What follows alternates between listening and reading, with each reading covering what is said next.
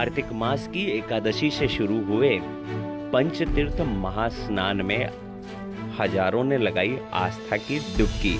पवित्र पुष्कर सरोवर पर देखने को मिली श्रद्धालुओं की भारी भीड़।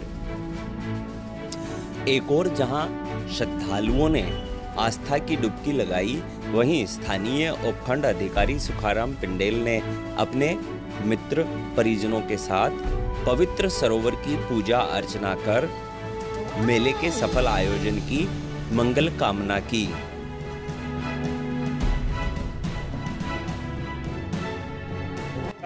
से पूर्णिमा तक का मेला रहता है। स्वच्छम पुष्कर तीर्थ राज्य नृत्य यज्ञास्थलम पर्वतम। मार्शिंग कार्तिक शुक्ल पंचदिवसम स्नानम सदा पुष्करम। दृष्ट्वा देववरा विष्णु भगवन रुद्रम शिवम शाम्भवम।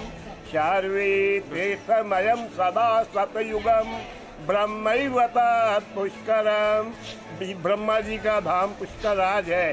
पुष्कराज में पाँच दिन का मेला लगता है।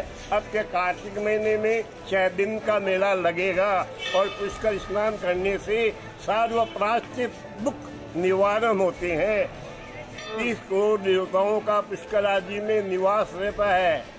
इसका क्या महत्व रहता है? आदि अनादि तीर्थ पुष्कर राज है। पुष्कर आभ्यामी तीर्थानी गंगाभ्या सर्गछत आगछंत पवित्राणि स्नान काले सदा मम धर्मस्य धर्म रूपेण ब्रह्म रूपेण पुष्कर।